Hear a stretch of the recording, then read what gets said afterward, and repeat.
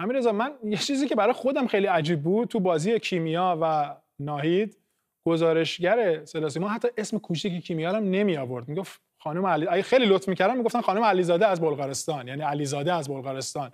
خیلی عجیبه این نفرت پراکنی که ما می‌بینیم در واقع وجود داره در حالی که دو تا ورزشکار با یه آغوش در پایان المپیک به همه نشون دادن که هیچ مشکلی با هم ندارن. ببینید قراره که ورزش محملی باشه برای به قول آقای توماس باخ جا انداختن فرهنگ صلح و دوستی. ولی در راستای اینکه اساسا صدا و سیمای جمهوری اسلامی ساز خودش رو می‌زنه و همواره خلاف جهت آبشنا می‌کنه ما دیدیم که یک مسابقه ساده ورزشی رو تبدیل کردن به یک ماجرای سیاسی بسیار پیچیده. این اتفاق سه سال قبل در توکیو هم افتاد. اونجا هم می‌شد به چشم یک مسابقه بهش نگاه کرد. به هر حال خانم علیزاده به دلیل مشکلات و کسری ها و کمبودهایی که احساس کرده در کشورش هست و واقعا هم هست رفته تا بتونه در جای دیگری پیشرفت کنه بتونه ورزش کنه بتونه برای آینده خودش در واقع شرایط مساعدتری فراهم کنه. اون چه که در این زمینه اهمیت داره و باید بهش پرداخت دلیل این مهاجرت هاست. نه اینکه ما بیایم بحث رو بکشیم سمت اینکه چه کسی داره به مملکت خیانت می‌کنه چه کسی داره خدمت می‌کنه از قضا خائنین به مملکت همین مجریانی هستن که جرأت نمی‌کنن به موضوع اصلی ورود کنن همین آقای که علیرضا حیدری رو از استودیو بیرون می‌کنه ایشون با خانم خودشون خانم سابقشون یک زمانی کاپیتان تیم ملی بانوان ما بودن و به دلیل اینکه ایشون نمی‌خواستن اجازه از بله. کشور خارج خانم نیلوفر اردلان نتونستن برن در مسابقات شرکت کنن.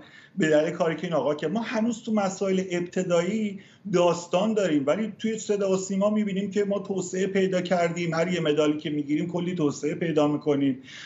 تو صدا و سیما ما قهرمان المپیک شدیم. تو صدا و سیما ما نمی بازیم مگر اینکه حریفامون بد اخلاق باشن مگر اینکه ناداوری ها به قول معروف کمک کنه که ما شکست بخوریم. این فضای مسموم این فضای نفرت پراکن باعث میشه که آدما دو دستشن. یعنی من افسوس می‌خورم وقتی می‌بینم که در المپیک توکیو یه سری از ایرانیا ابراز خوشحالی می‌کردن از باخت خانم کیانی. در حالی که چه ناهید چه کیمیا فرزندان اون مملکت هستن. دقیقا هیچ فرق ندارن واقعا دقیقا. دقیقا. اصلا یک رقابت ورزشیه به نظر من که جذابترین مسابقات تکواندو بین این دو نفر برگزار شد.